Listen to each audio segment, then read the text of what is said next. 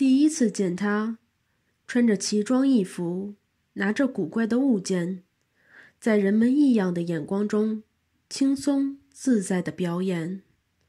这看似是一种与他企业家的职业和近六十岁的年龄不相称的做法。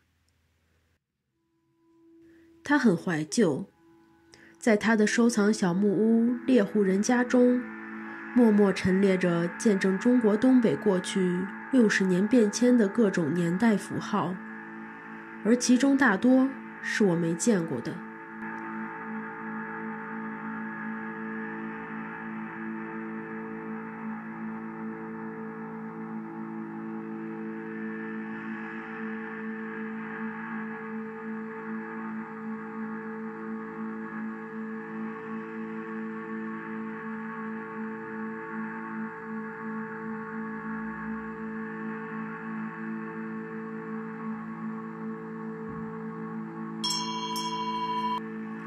他游走于哈尔滨的地标街道，用自己的行为艺术传承家乡传统文化，让更多人去了解这座城市。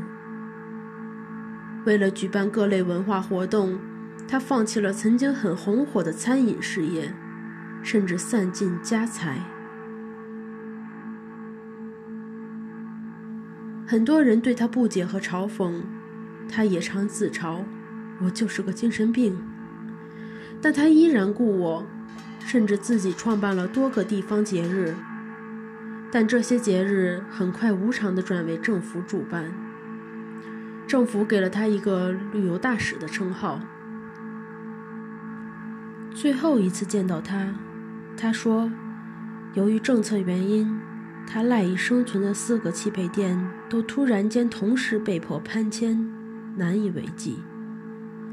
那一瞬间。感觉到他被巨大的落寞笼罩，他那些曾经的吟唱和表演，都更像是一首关于理想主义的挽歌。